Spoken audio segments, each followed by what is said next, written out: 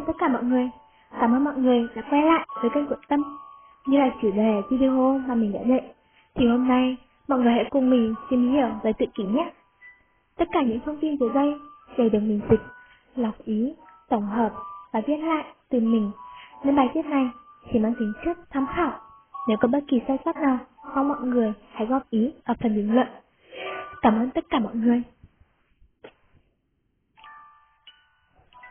Vậy, mọi người có từng tò mò về bệnh tự kỷ chưa nhỉ? Để hiểu rõ hơn thì mình sẽ chia bài này ra làm 5 phần. Phần thứ nhất là khái niệm và những câu chuyện bị lãng quên của bệnh tự kỷ. Phần thứ hai là nguyên nhân của bệnh tự kỷ. Phần thứ ba là triệu chứng. Phần thứ bốn là cơ chế. Và phần thứ năm là điều trị. Vậy trước tiên, chúng ta hãy đi vào khái niệm và những câu chuyện bị lãng quên về bệnh tự kỷ nhé. Tự kỷ hay còn gọi là autism là một chứng rối loạn phát triển đặc trưng và khiếm khuyết về quan hệ nhân sinh, giao tiếp ngôn ngữ, giao tiếp phi ngôn ngữ và hành vi sợ thích, hạn chế được lặp đi lặp lại. Mặc dù bệnh tự kỷ chủ yếu là di truyền, các nhà nghiên cứu đã nghi ngờ cả hai yếu tố môi trường và di truyền đều là nguyên nhân của bệnh này. Tự kỷ có ảnh hưởng đến việc xử lý thông tin trong não bằng cách thay đổi các tế bào thần kinh và synapse của chúng kết nối và tổ chức. Tuy nhiên, giả thuyết này vẫn chưa được hiểu rõ. Hầu như trong thế kỷ 20, tự kỷ được xem là một bệnh trạng cực kỳ hiếm thấy. Một số nhà tâm lý học và các bác sĩ nhi khoa đã từng nói về nó và cho rằng trong cả sự nghiệp của họ có thể sẽ không gặp một ca nào. Qua nhiều thập kỷ, tỷ lệ tự kỷ được xem là vẫn ổn định, chỉ khoảng 3 đến 4 trẻ trên 1.000 trẻ. Nhưng sau đó, vào những năm 1990, số lượng bắt đầu tăng lên những tên lửa. Và phải đến gần như hết thế kỷ 20, các bác sĩ mới tìm ra và kể lại câu chuyện về tự kỷ là gì, và nó được phát hiện ra sao. Nhưng những câu chuyện đó thực tế là không đúng. Và hậu quả của nó là đã tạo ra một tác động to lớn đối với y tế công cộng toàn cầu. Có một câu chuyện thứ hai về ngắn hơn về tự kỷ đã bị mất đi và lãng quên trong góc khuất của Ý Văn Lâm Tàn. Câu chuyện thứ hai này kể cho chúng ta về mọi điều, cách mà chúng ta tới đây và nơi chúng ta cần đi tiếp. Chuyện thứ nhất bắt đầu bằng một nhà tâm lý học trẻ em tại bệnh viện John Hopkins, tên là Leo Kanner. Vào năm 1943, Kanner đã đăng một bài báo mô tả về một bệnh nhân trẻ mà họ dường như sống trong thế giới riêng, không để ý tới những người xung quanh họ, thậm chí cả cha mẹ của chính họ. Họ có thể tự tìm niềm vui hàng giờ liền bằng cách ra phải tay trước mặt họ. Nhưng họ lại hoảng hốt vì những chuyện nhỏ nhặt như món đồ chơi yêu thích của họ bị di chuyển khỏi nơi thường thấy mà họ không thể biết trước. Dựa trên những bệnh nhân được đưa đến phòng khám của mình, Tanner tự nhận, tự sướng, tự kỷ là cực kỳ hiếm thấy. Đến những năm 1950, là người đứng đầu trên thế giới về chủ đề này, ông tuyên bố, ông đã thấy gần 150 ca, thực sự là những triệu chứng mà ông mô tả khi đi thực tế và những trường hợp nhà tham vấn ở tận Nam Phi. Điều đó thực sự không có gì đáng ngạc nhiên, bởi vì tiêu chuẩn của Kanner là chẩn đoán bệnh tự kỷ cực kỳ giới hạn. Ví dụ, ông không khuyến khích đưa chẩn đoán đối với những trẻ đã có cơn co giật. Nhưng giờ đây, chúng ta biết rằng, động kinh rất phổ biến đối với bệnh tự kỷ. Ông từng nói rằng, ông đã trả về 9 trong 10 đứa trẻ được giới thiệu đến phòng mạch của ông vì bệnh tự kỷ từ những bác sĩ khác mà không đưa ra chẩn đoán tự kỷ. Kanner là một người thông minh, nhưng một số điều trong các lý thuyết của ông đã không đúng. Ông phân loại tự kỷ là một dạng rối loạn tâm lý trẻ nhỏ, nguyên nhân từ sự lạnh nhạt và thiếu tình cảm của cha mẹ. Những em này, theo ông, là đã được giữ kín trong tủ lạnh và không được giãn đông. Tuy nhiên, cùng thời điểm đó, Kanner cũng đã chỉ ra rằng một số bệnh nhân nhỏ tuổi của ông có những khả năng đặc biệt tập trung trong những lĩnh vực nhất định như âm nhạc, toán học, trí nhớ. Một cậu bé tại phòng khám của ông có thể phân biệt 18 là giao hưởng trước khi được 2 tuổi. Khi mẹ cậu bé bật một bản nhạc yêu thích, cậu bé tuyên bố chính xác Beethoven. Nhưng Kanner lại có một cái nhìn mơ hồ về những khả năng này. Nói rằng những đứa trẻ chỉ nhại lại những gì mà chúng nghe cha mẹ khoa trương của chúng nói. Cầu mong để được sự đồng tình. Kết quả là tự kỵ trở thành nguồn gốc xấu hổ và là vết nhơ đối với các gia đình của cả hai thế hệ trẻ em tự kỷ để chuyển tới những cơ sở để họ tự sống, rồi tự biến mất khỏi thế giới trên diện rộng. Thú vị thay, cho tới những năm 1970, các nhà nghiên cứu bắt đầu kiểm nghiệm lại lý thuyết của Kanner cho rằng tự kỷ là bệnh hiếm. Nhưng Lana và Chutin, đồng nghiệp của bà, đã quyết định tiến hành nghiên cứu về tỷ lệ tự kỷ trong cộng đồng. Họ tìm kiếm một cách kỹ càng ở khu ngoại ô London là Camberwell. Để cố gắng tìm thấy những đứa trẻ tự kỷ trong cộng đồng. Điều mà họ tìm thấy và đã làm sáng tỏ mô hình của Kanger là quá hiểm. Trong khi đó, kỳ kỷ đa dạng và phong phú hơn nhiều. Một số trẻ không nói được gì cả. Trong khi những đứa trẻ khác lại liên thuyên về niềm đam mê, về vật lý, thiên văn, khủng long, hoặc tìm hiểu về gia tộc hoàng gia. Nói cách khác, những đứa trẻ này không vừa trong những chiếc hộp xinh đẹp, gọn gàng mà giúp sinh đặt vào. Và họ thấy nhiều đứa trẻ khác so với nhiều khuôn mẫu cứng nhắc của Kanner suy đoán. Đầu tiên, họ không biết làm thế nào để số liệu của họ có ý nghĩa. Làm sao mà không ai đề cập đến những đứa trẻ này trước đấy? Sau đó, Lana tìm thấy một năng khả trong một bài báo có tính cạnh tranh được xuất bản ở Đức vào những năm 1944. Một năm sau, bài báo của Kanner và rồi bị lãng quên, bị chôn vùi trong đống cho tàn của một thời khủng khiếp mà không ai muốn nhớ lại. Hoặc nghĩ về nó. Kanner biết về bài báo này, nhưng ông đã thận trọng tránh nhắc tới trong công trình của ông. Nó thậm chí còn chưa được dịch sang tiếng Anh. Nhưng may thay, chồng của Lana biết tiếng Đức và ông dịch ra cho bà. Bài báo này đã đưa về một câu chuyện khác của bệnh tự kỷ.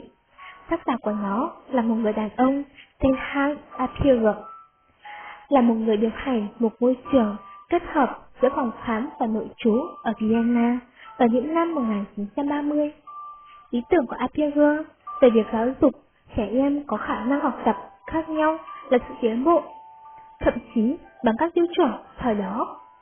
Buổi sáng, ở phòng khám của ông, bắt đầu bằng việc tập thể dục cả lớp với âm nhạc, và những đứa trẻ được cho chơi vào buổi chiều chủ nhật. Thay vì đổ lỗi cho cha mẹ đã gây ra tự kỷ, Apieger đóng khuôn nó là một tập nguyền suốt đời. Tôi hiểu rằng cây xa mà cần nhiều hình thức tương cảm cho sự hỗ trợ và giúp thích nghi trên con đường của cả cuộc đời một người. Thay vì điều trị những đứa trẻ trong phòng khám như bệnh nhân, Apieger gọi chúng là những giáo sư nhỏ bé và chiêu mộ sự giúp đỡ của họ trong việc phát triển các phương pháp giáo dục chỉ duy phù hợp với họ. Điều quan trọng là Apieger nhìn nhận tự kỷ là một đa dạng liên tục, bắt nhịp cho một khoảng rộng đáng kinh ngạc của thiên tài và khuyết tật. Ông tin rằng tự kỷ và các đặc điểm của tự kỷ rất phổ biến và luôn như vậy. Xem các khía cạnh của sự liên tục này trong khuôn mẫu, quen thuộc của một văn hóa nhạc pop như một nhà khoa học lúng túng về giá trị xã hội và một vị giáo sư hay quên. Ông ấy đã tiến hành một bước xa hơn để nói rằng dường như sự thành công trong khoa học và nghệ thuật, một gạch nối cho tự kỷ là cần thiết. Laura và Yuki nhận ra rằng Kanner đã sai lầm khi cho rằng tự kỷ là bệnh hiếm, cũng như cho rằng cha mẹ của chúng đã gây ra nó. Vào cuối những năm 1980 và vào đầu những năm 1990, những thay đổi của họ có hiệu lực. Họ đã thay đổi mô hình hẹp của Kanner bằng mô hình rộng lớn hơn và bao trùm của Arthur. Những thay đổi này đều có trước và có sau. Tình cỏ, Chilana và Rutin làm việc sau hội trường về cái cách tiêu chuẩn. Mọi người trên thế giới thấy được một người trưởng thành bị tự kỷ lần đầu tiên. Trước khi bộ phim Rayman hình chiếu năm 1988, chỉ có một nhóm rất nhỏ vừa xuất hiện. Các chuyên gia biết thế nào là tự kỷ, nhưng do sự diễn xuất khó quên của Booty nhẹ trong vai Trần Hòa Thị mang đến cho Rayman bốn loại dược hàn lâm. Các bác sĩ nhi khoa, bác sĩ tâm lý, giáo viên và cha mẹ trên khắp thế giới đã biết được tự kỷ là như thế nào. Nếu ước tính hiện tại của CDC rằng một trong 68 đứa trẻ ở Mỹ có trong khổ tự kỷ là đúng, thì người tự kỷ là một trong những nhóm thiểu số lớn nhất thế giới. Trong những năm gần đây, những người tự kỷ tụ họp với nhau trên Internet để phản đối khái niệm rằng họ là những rắc rối cần được giải quyết bằng các tiến bộ y khoa kể tiếp. Đưa ra thuật ngữ, sự đa dạng thần kinh để tôn vinh đối với sự đa dạng về nhận thức của con người. Một cách để hiểu sự đa dạng thần kinh là nghĩ về các thuật ngữ của các hệ thống vận hành của con người. Giống như việc một cái máy tính không thể chạy Windows không có nghĩa là nó hỏng. Theo chuẩn của tự kỷ, bộ não bình thường của con người rất dễ dàng bị chi phối, ám ảnh xã hội và chịu đựng thiếu hụt sự chú ý và chi tiết. Chắc rằng những người tự kỷ sẽ rất khó khăn để sống trong một thế giới không dư cho họ. 70 năm sau, chúng ta vẫn làm theo Attinger, cho rằng việc chỗ họ trò hết những khía cạnh kiếm khuyết của tự kỷ có thể thực hiện được từ các giáo viên hiểu biết, sự điều tiết phù hợp của người quản lý, cộng đồng hỗ trợ và cha mẹ tin tưởng vào tiềm năng của con cái họ. 2. Nguyên nhân bệnh tự kỷ Từ lâu, bệnh tự kỷ đã được coi là một nguyên nhân phổ biến ở các mức độ di chuyển, nhận thức và thần kinh đối với bộ ba triệu chứng của bệnh tự kỷ. Tuy nhiên, lại càng có nhiều nghi ngờ rằng tự kỷ thay vì là một chứng rối loạn phức tạp, có nhiều khía cạnh cốt lõi, nó lại có nhiều nguyên nhân khác, riêng biệt và thường xảy ra cùng một lúc. Tự kỷ có một cơ sở di chuyển mạnh, mặc dù những nguồn gốc của bệnh tự kỷ rất phức tạp và số liệu không rõ. ISD có giải thích thêm bởi những đột biến hiếm với những ảnh hưởng lớn hay bởi các tương tác của gen trộn trong những biến thể di truyền phổ biến. Sự phức tạp nảy sinh bởi những đột biến hiếm với những ảnh hưởng lớn hay bởi các tương tác của gen trộn trong những biến thể di truyền phổ biến. Sự phức tạp nảy sinh bởi tương tác giữa nhiều gen, môi trường và những yếu tố biểu sinh không làm thay đổi trình tự DNA, nhưng lại di chuyển và gây ảnh hưởng lên biểu hiện gen. Nhiều gen có liên quan đến bệnh tự kỷ thông qua trình tự bộ gen trong những cá nhân bị nhiễm và bố mẹ chúng. Nguyên nhân cụ thể trong hầu hết các trường hợp tự kỷ còn chưa rõ. Tuy nhiên, một số trường hợp đã xảy ra khi trẻ có hội chứng rubella bẩm sinh, hội chứng viêm màu tim, phenycampolia và hội chứng Fragile X. 3. Triệu chứng Tự kỷ là một chứng rối loạn phát triển nặng, lần đầu xuất hiện trong thời gian ấu, thường kéo dài mà không có dấu hiệu thuyên giảm. Những người bị bệnh tự kỷ có thể bị tổn hại nghiêm trọng ở một số mặt, nhưng ở mức độ bình thường hoặc thậm chí cao hơn ở những cá thể khác. Triệu chứng dần lỗi rõ sau khoảng 6 tháng tuổi, phát triển ở độ tuổi 2 hoặc 3 năm và có xu hướng tiếp diễn qua độ tuổi trưởng thành. Mặc dù sở ra dạng bị kiềm hãm, ở một số mặt khác, chẳng hạn như ăn uống, cũng phổ biến, nhưng không cần thiết được chẩn đoán. Có hai triệu chứng rối loạn đặc trưng trong tự kỷ là trẻ thiếu tương tác, giao tiếp, xã hội với trẻ tự bói hẹp bản thân, các sở thích và hoạt động luôn bị hạn chế, lặp đi lặp lại. Về triệu chứng rối loạn tự kỷ, trẻ thiếu tương tác, giao tiếp xã hội có liên quan từ các triệu chứng rối loạn phát triển khác. Người bị tự kỷ có khiếm khuyết về mặt xã hội và thường thiếu trực giác về những người khác mà nhiều người công nhận là như vậy. Một người mắc chứng tự kỷ là Temple Grady mô tả sự bất lực của cô để hiểu về những giao tiếp xã hội bình thường hoặc những người có thành kinh phát triển bình thường, khiến cô có cảm giác như là một nhà nhân chứng học trên sao hỏa. Ví dụ về sự thiếu tương tác và giao tiếp xã hội, bao gồm thiếu hụt về giao tiếp xã hội hoặc tình cảm như không bắt đầu hoặc đáp ứng các tương tác xã hội cuộc trò chuyện, không chia sẻ cảm xúc. Trẻ không giao tiếp xã hội như khó diễn đạt ngôn ngữ, cơ thể, cử chỉ và sự biểu đạt, giảm biểu cảm trên khuôn mặt và cử chỉ hoặc giao tiếp bằng mắt. Thiếu hụt trong việc phát triển và duy trì các mối quan hệ như kết bạn, điều chỉnh hành vi với các tình huống khác nhau. Rồi triệu chứng nói hiểm bản thân có các sở thích và hoạt động, lặp đi, lặp lại chỉ có khoảng 1 phần 3 cho đến nửa số người tự kỷ không phát triển đầy đủ ngôn ngữ tự nhiên để đáp ứng đầy đủ các nhu cầu giao tiếp hàng ngày.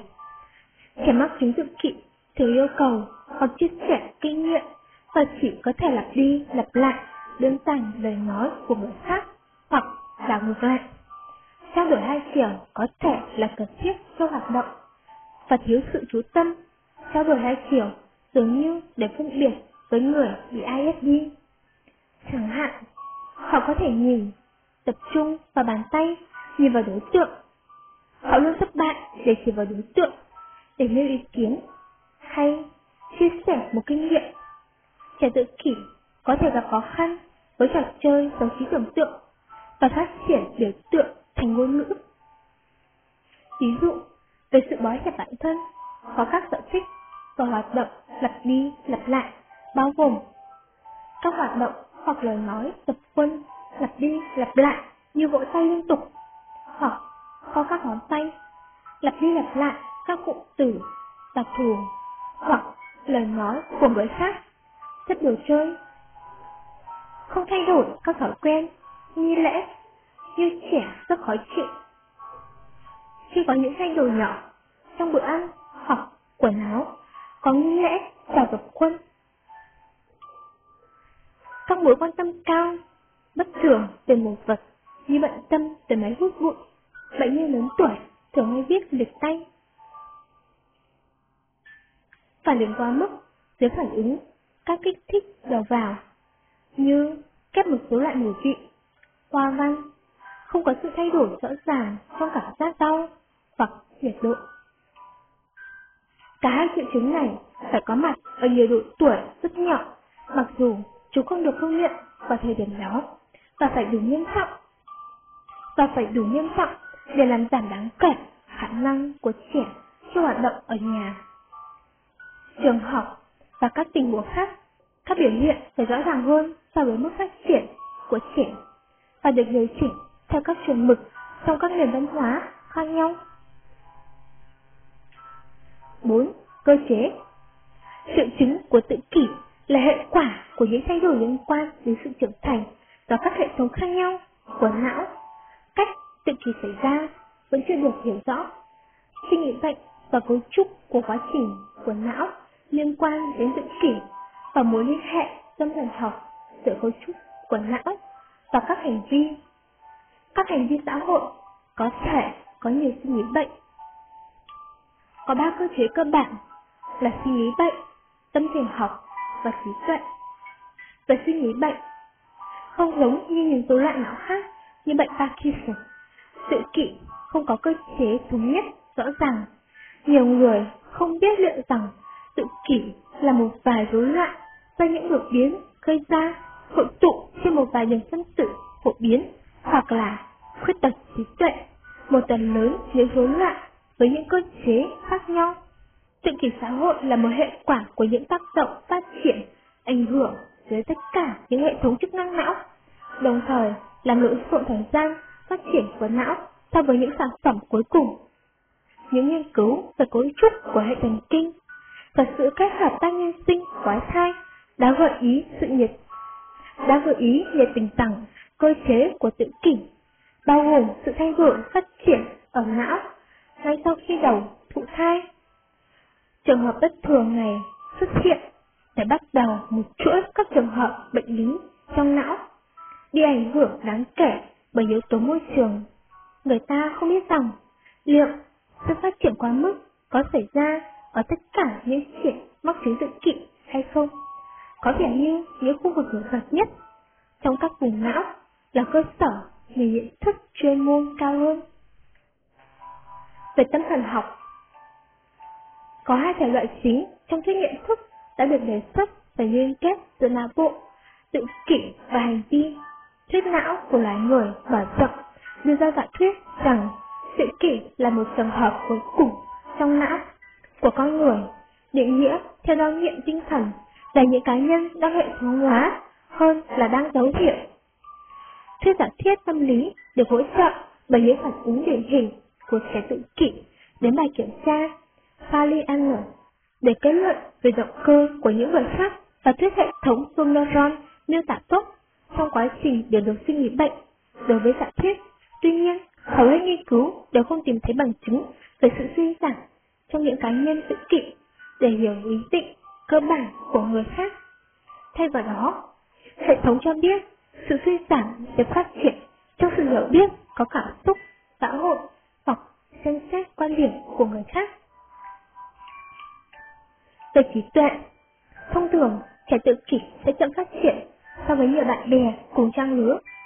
Một số trường hợp khác lại có khả năng đặc biệt có trí nhớ tốt như nhớ các đồ vật, làm chứng tỏ nhiều thiên tài siêu trí tuệ nổi tiếng trên thế giới mắc bệnh tự kỷ như Albert Einstein, Isaac Newton hay Michelangelo.